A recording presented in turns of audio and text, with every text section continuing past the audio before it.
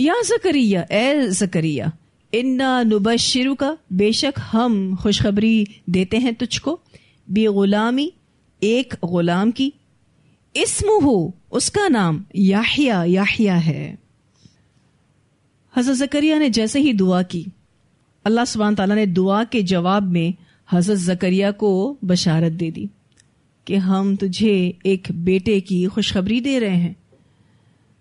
और उसका नाम याहिया होगा। यानी नाम भी अल्लाह ताला ने खुद ही रख दिया। ना सिर्फ़ दुआ कबूल की, बल्कि अल्लाह ने ये नाम खुद ही तजवीज़ किया। बड़ा ही खूबसूरत नाम है याहिया। माना तादेर, ज़िंदा रहने वाला। लम न जान लहू, नहीं हमने बनाया उसके लिए। मिन कबल, इससे पहले समिया, कोई हम नाम। इस नाम जैसा पहले कोई बंदा था ही नहीं। आजकल ये बहुत लोग सोचते हैं कि यूनिक नाम रखें अपने बच्चों का। तो ये बड़ा यूनिक नाम है। इस नाम वाला पहले कोई नहीं था। लम न लहू मिन कबलू समिया। माना यह है कि इस नाम वाला भी कोई इंसान याहिया से पहले नहीं आया और इन सिफात का मालिक भी इनसे पहले कोई नहीं था। ठीक है? पहला माना क्या है? लम नजू मिन कबल समिया का, कि इस नाम जैसा किसी का नाम नहीं था। याहिया नामी पहला शख्स है। और स्पेशल इसलिए कि अल्लाह ताला ने इनका नाम रखा। और दूसरा माना यह है कि इस जैसा बच्चा, यानी याहिया जैसा बच्चा अभी तक पैदा नहीं हुआ। ये स्पेशल बच्चा है। क्यों स्पेशल है?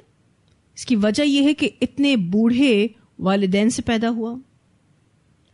और याहिया सलाम के अंदर बचपन ही से बड़ी खूबियाँ थी। इनकी खूबियों का ज़िक्र आगे आएगा। यानी इतनी खूबियों का मालिक कोई भी नहीं था। इनके बारे में आता है कि हज़रत याहिया सलाम ने कभी कोई गुनाह किया ही नहीं। और कभी किसी गुनाह को करने के बारे में सोचा ही नहीं। बहुत स्पेशल थे। अल्लाह सुबहान तला ने इनको बहुत प्योर बनाया था। अच्छा जब भी इस आयत को मैं पढ़ती हूँ तो मुझे बड़ा ही प्यार आता है। अल्लाह ताला पर कि अल्लाह ताला ने बच्चा भी दिया और नाम भी खुद रखा। अच्छा हमारी भी कैसी ख्वाहिश होती है ना कि जिससे हम मोहब्बत करते हैं, हमारे बच्चे का नाम वो रखे। होता है ना? तो अल्लाह ताला ने इनका नाम रखा और बड़ा ही स्पेशल नाम रखा, याहिया। और साथ में ये भी बताया, लम नजार लहू मिन कब्र समिया। शायद इस टेक्स्ट को मैं अच्छे से वाजे भी ना कर सकूँ। इसमें इतनी बेहतरीन तारीफ़ है हज़रत याहिया की, कि इसके नाम जैसा किसी का नाम नहीं। इसकी सिफात जैसी सिफात किसी में नहीं। बहुत स्पेशल बच्चा। कौला रब्बी कहा, ए मेरे रब, अन्ना यकूनू, कैसे हो सकता है? ली मेरे लिए गुलामुन बेटा। वकान आकिरन, हालाँकि है मेरी बीवी बांझ। वक़द और तहकीक, बलग तो मैं पहुँचा हुआ हूँ। मिनल खिबरी, बुढ़ापे की अतिया आखिरी हद को। अब आप देखिए कि हज़रत जकरिया सलाम हैरत कर रहे हैं। अच्छा जब दुआ कर रहे थे तो उस वक्त इनको ताजुब नहीं हो रहा था। लेकिन जैसे ही वो दुआ कबूल हो गई और अल्लाह ताला ने इनको बशारत दी तो ताजुब करने लगे। अच्छा ये ताजुब इसलिए नहीं था कि उनको अल्लाह ताला की कुदरत में कोई शक था? या उनको ऐसी कोई दुआ करनी ही नहीं चाहिए थी, बल्कि ताजुब बहुत नेचुरल था। इंसान की आदत होती है, जब उसको गैर मामूली गुड न्यूज़ मिलती है ना, खुशखबरी मिलती है तो वो मजीद इतमान के लिए, मजीद खुशी के हसूल के लिए उस बात को बार बार पूछता है। कहा, अल्लाह ताला, कैसे? ये कैसे पॉसिबल है? और फिर वही सरकमस्टेंसेस दोहराए। वकानत मुरात आकिरन, वक़द बलग तो मिनल किबरी अतिया अतिया कहते हैं, ऐसा बुढ़ापा जिसका मदावा नहीं हो सकता। इंतहाई बुढ़ापा। जिसमें आज़ाद जवाब दे चुके हों। हड्डियाँ सूख चुकी हों, आखिरी दर्जे का बुढ़ापा। अल्लाह ताला कैसे पॉसिबल है? ये कैसे होगा? मुझे तो यकीन नहीं आ रहा। जो जाहिरी हालात थे, उसके पेश नज़र हज़रत जकरिया का हैरत करना बनता था। और, कहते हैं, अल्लाह ताला, आप ऐसा कैसे करेंगे? ये कैसे पॉसिबल है? हालात तो मेरे कुछ ऐसे हैं। अब अल्लाह ताला देखें क्या जवाब देते हैं। कौला कदालिक फरिश्ते ने कहा, इसी तरह। क्योंकि ऑब्वियसली बातचीत फरिश्ते के थ्रू चल रही थी। वही भेजी थी ना अल्लाह ताला ने। कौल कदालिक फरिश्ते ने कहा, इसी तरह। यानी अल्लाह ताला का जवाब इतना छोटा सा कदालिक इसी तरह। कोई मसला ही नहीं, कोई इशू ही नहीं है। कभी हमने अल्लाह ताला पे इस तरह का तवक्ल किया? अल्लाह के लिए क्या मुश्किल है? कदालिक, इसी तरह। कौल रब्बू का कहा, तेरे रब ने, हुआ अलैया, वो मुझ पर हयिन बहुत आसान है। ये जो तीन लफ्जों पर मबनी जुमला है ना, हुआ अलैया हयिन इसको तो हम सब भी याद रखें। अल्लाह के लिए कुछ मुश्किल नहीं। ये जो बारह हम कहते हैं ना, अल्लाह तेरे लिए कुछ मुश्किल नहीं। वह आला कुल्ली शय इन कदे अल्लाह ताला कहते हैं क्या मुश्किल है? कुछ मुश्किल नहीं। कौल रब्बू का हुआ अलैया हयिन यानी ऐसा करना, बहुत ही बूढ़े बाप और हमेशा से बांझ माँ से बच्चा पैदा करना मेरे लिए बहुत आसान है। क्यों? वह इस बाप का मोहताज नहीं। मैं हर चीज़ पर कुदरत रखता हूँ। इसलिए तुझे हैरत नहीं होनी चाहिए। तो क्यों हैरत कर रहा है? अच्छा इनका हैरत करना बड़ा नेचुरल था, जैसे कि मैंने आपके सामने भी ज़िक्र किया। लेकिन मांगा क्यों फिर? अगर यकीन ना होता तो मांगते ही ना। यकीन था कि अल्लाह ताला हर चीज़ कर सकते हैं। लेकिन जैसे ही अल्लाह ताला ने इनको गुड न्यूज़ दी, इनका यकीन के साथ साथ हैरत का मामला भी पैदा हो गया। अल्लाह ताला फरमाते हैं, वक़द खलक का और तहकीक मैंने पैदा किया था तुझको। मिन कबल इससे पहले, वलम तक जब तो कुछ भी नहीं था। तो जब भी तो पैदा किया था, तू क्या था? यहाँ पर खलक तू का से एक मुराद तो हज़रत जकरिया ही है। अल्लाह ताला हज़रत जकरिया से मुखातिब है और कह रहे हैं कि तुमको भी तो पैदा किया। और दूसरी मुराद हज़रत आदम भी हो सकते हैं। कि हज़रत आदम को भी तो मैंने पैदा किया? और वो तो बगैर माँ बाप के पैदा किए गए। वो तो और सुपर नेचर किस्म की तख्लीक हैं। अल्लाह के लिए कुछ मुश्किल नहीं।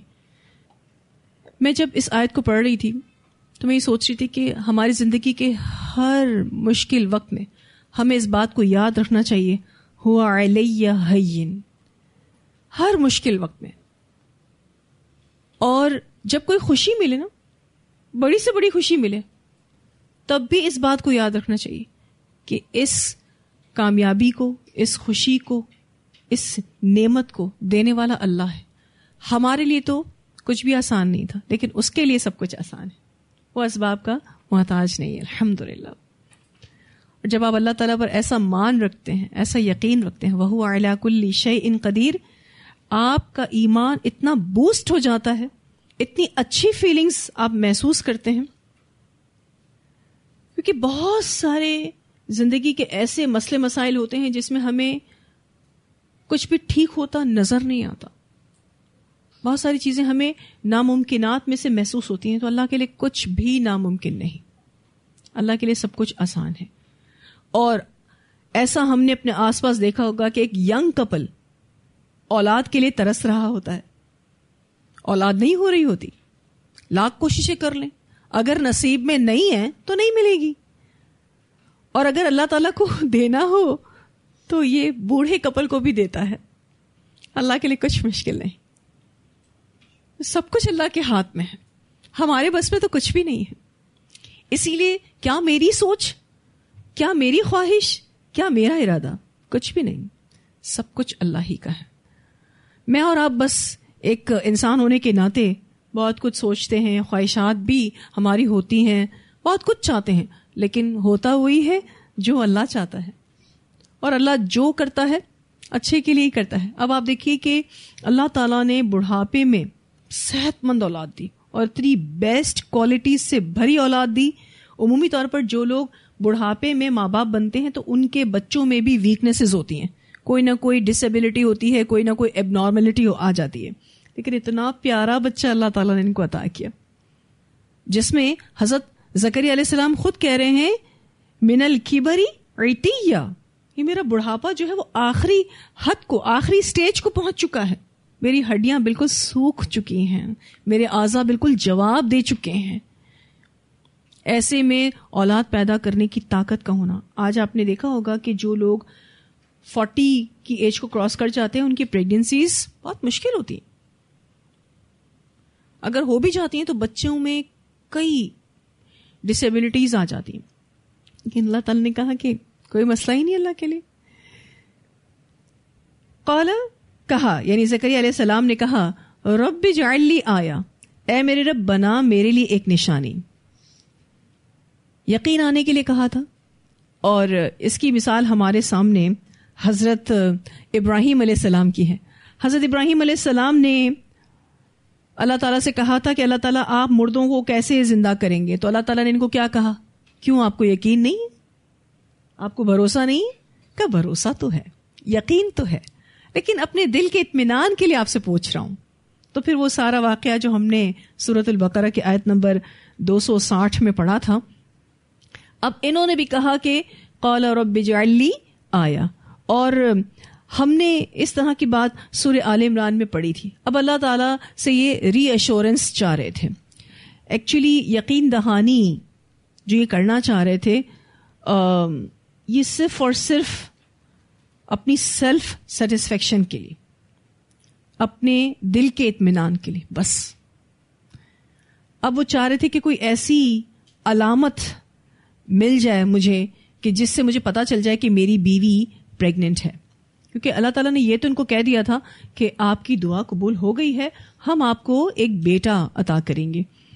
तो इन्होंने कहा, कौल और बिजाली आया। ठीक है? रीएश्योरेंस चाह रहे थे। और रीएश्योरेंस कहते हैं, एक ऐसा स्टेटमेंट एक ऐसी अलामत जो आपके डाउट्स को और आपके फेयर्स को खत्म कर दे। ठीक है? आपके अंदर जो खौफ है, आपके अंदर जो शको शुबात हैं, उस स्टेटमेंट से खत्म हो जाए। उसको कहते हैं रीएश्योरेंस यकीन दहानी कराना। ठीक है? कौला फरमाया, यानी अल्लाह ताला ने फरमाया आयतु का निशानी तेरी। अल्लाह ये के ना तो कल लिमन नासा, तू कलाम करेगा लोगों से सला सलयाल सविया, तीन रातें अच्छा भला होते हुए भी, यानी तो बिल्कुल ठीक होगा, लेकिन उसके बावजूद भी तू बात नहीं कर सकेगा। अल्लाह ताला ने इनको बोलने से रोका। और ये बात हम सूर्य आल इमरान में पढ़ाए हैं, आयत नंबर 41 आयतुक अल्लाह सलासत अय्यामिन इल्ला रमजा, वज़कुर रब्बका कसीरन वसब्बिह बिल अशी वल इबकार। तेरी निशानी यह है कि तू तीन दिन लोगों से बात नहीं करेगा, मगर ये के इशारे से। और अपने रब को बहुत ज़्यादा याद कर, शाम और सुबह तस्बी कर। तो अल्लाह ताला ने इनको बोलने से रोक दिया। सही थे, कोई एबनॉर्मेलिटी नहीं थी, लेकिन फिर भी बोल नहीं सकते थे। ज़्यादा बोलने से ईमानी कुतें कम होती हैं, लेकिन ज़िक्र की तोफीक दी, ज़िक्र जितना चाहें कर सकते थे। और ये जो सवीयन का लफ्ज है, सीन वाव या से है। एक माना तो ट्रांसलेशन में है अच्छा भला होते हुए भी, ठीक है? यानी सवीयन से मुराद सही सालिम, तंदुरुस्त, बगैर बीमारी के। यानी तुम बिल्कुल ठीक होगे, लेकिन बोल नहीं सकोगे। कोई बीमारी नहीं होगी तुम्हें, कि तुम बोल ना सको। लेकिन तेरी जबान गुफ्तगु ना कर सकेगी। हज़रत जकरी की हालत बताई जा रही है। और सवीयन का दूसरा माना लगातार कंटिन्यूस मुसलसल। और ये सिफत रात की आई है। सलास लयाल सविया, तीन रातें कंटिन्यूस मुसलसल। यानी सविया जो है, रात की सिफत के तौर पर आया है।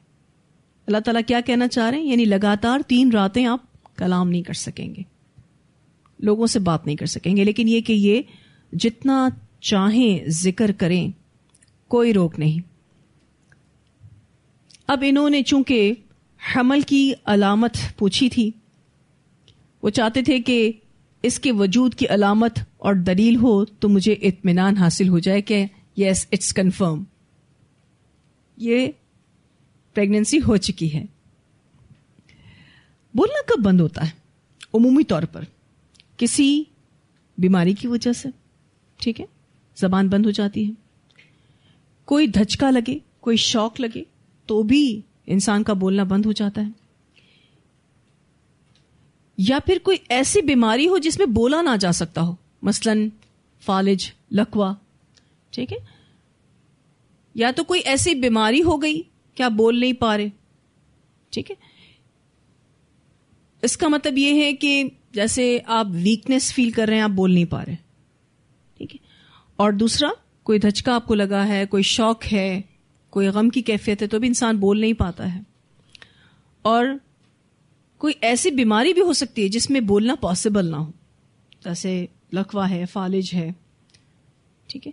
बस दफ़ा कन्फ्यूज़न में भी आप बोल नहीं पाते हैं। बहुत ज़्यादा खुशी मिले तब भी नहीं बोल पाते हैं। लेकिन ये रीजंस काउंट नहीं होते। ऐसा होता है कि इंसान फिर खामोश हो जाता है। तो यहाँ पर इनको जो बोलने से रोका गया, उसकी वजह यह थी कि ये हमल की अलामत थी और इनको ज़्यादा बोलने से, ज़्यादा डिस्कशन करने से रोक दिया गया ताकि इनकी ईमानी क़वतें बहाल रहें। फ़खरज आला कौमी ही तो निकला अपनी कौम पर, मिनल मेहराबी मेहराब से। मेहराब का जो लफ्ज़ है हाराबा से है इसम ज़रफ़ मकान है, जंग की जगह को कहते हैं। अब यहाँ पर मेहराब जो है वो इबादत गाह के मानों में है। तो गोया इबादत गाह में रहकर अल्लाह की इबादत करना ऐसा है जैसे आप शैतान से लड़ रहे हैं, शैतान से जंग कर रहे हैं। इसीलिए इसको मेहराब कहा गया।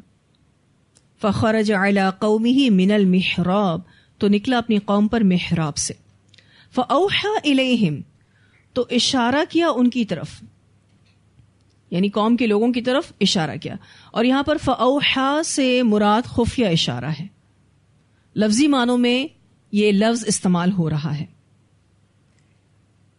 अब चूँकि अपनी कौम से मुखातिब हैं क्या कह रहे हैं अनसबिहु ये कि तस्बीह करो बुकरतों आशिया सुबह और शाम। बाकी कौम से क्या कहा? कि तुम तस्बीह करो। क्योंकि हज़रत याहिया सलाम की पैदाइश से इस कौम पर नबूत की नेमत आनी थी। इस पर शुक्र अदा करो। किस शक्ल में? तस्बीह की शक्ल में। और तस्बीह कब कब करनी है? बुकरतों आशिया बुकरा कहते हैं, सुबह से लेकर इब्तदाई दिन तक। यानी तुलो आफ्ताब से लेकर दोपहर तक। और अर्शिया कहते हैं, असर से मगरब तक। सुबह शाम अल्लाह का ज़िक्र करो, अल्लाह की तस्बीह बयान करो। अब आप देखिए तो ये जो इन्होंने दूसरों को इशारा किया कि हर वक्त अल्लाह की याद में मशगूल रहे, अल्लाह का शुक्र अदा करने में इनको भी शरीक किया, अपनी कौम को भी शरीक किया। खुद तो शुक्र अदा कर ही रहे थे कि अल्लाह ने इनको औलाद की, नेमत की बशारत दी। साथ साथ कौम को भी क्या कहा? कि अल्लाह को याद करो। और मेरे साथ शुक्र अदा करने में शरीक हो जाओ। अब चूँकि बहुत खुश थे, हज़रत जकरिया बहुत ज़्यादा खुश थे। तो इससे ये पता चलता है कि अल्लाह का ज़िक्र और तस्बीह जज्बाती कैफियत में मददगार होती। इतने खुश थे कि आप ये कह सकते हैं, जैसे खुशी की कोई इंतहा ही ना थी। तो जब बहुत ज़्यादा खुशी की कैफियत हो, तब भी अल्लाह ताला का ज़िक्र इंसान को बहुत ही मुतमिन रखता है। उन जज्बाती कैफियत में ये ज़िक्र इलाही बड़ा ही सपोर्टिव होता है। गम हो तो भी तस्बी और ज़िक्र से दिल को इतमान मिलता है। अगर आप किसी परेशानी में हैं और अल्लाह का ज़िक्र करें तो भी आप रिलैक्स हो जाएँगे। खुशी और गम के मौके पर अल्लाह को याद करना दरअसल अल्लाह के साथ शेयरिंग है। और अल्लाह से बढ़कर कौन है हमारे लिए? कि जिसके साथ हम शेयर करें। आप अपनी खुशी भी अल्लाह से शेयर करते हैं, आप अपने गम भी अल्लाह से शेयर करते हैं। और आपको ऐसा लगता है कि हमारी इस शेयरिंग से हम रिलैक्स हो गए। उमूमी तौर पर लोग गम को तो शेयर करते हैं, लेकिन खुशी में अल्लाह के ज़िक्र को भूल जाते हैं। और ये इंतहा दर्जे की बेवफाई है कि आप किसी को तकलीफ़ में तो याद करें, खुशी में भूल जाएँ। तो अल्लाह के साथ मोहब्बत का तकाजा है कि उसे हर हाल में याद किया जाए, हर हाल में याद किया जाए। अब इन्होंने अपनी कौम से कहा कि भाई आपको भी अल्लाह का ज़िक्र करना है, खूब सारा अल्लाह को याद करना है।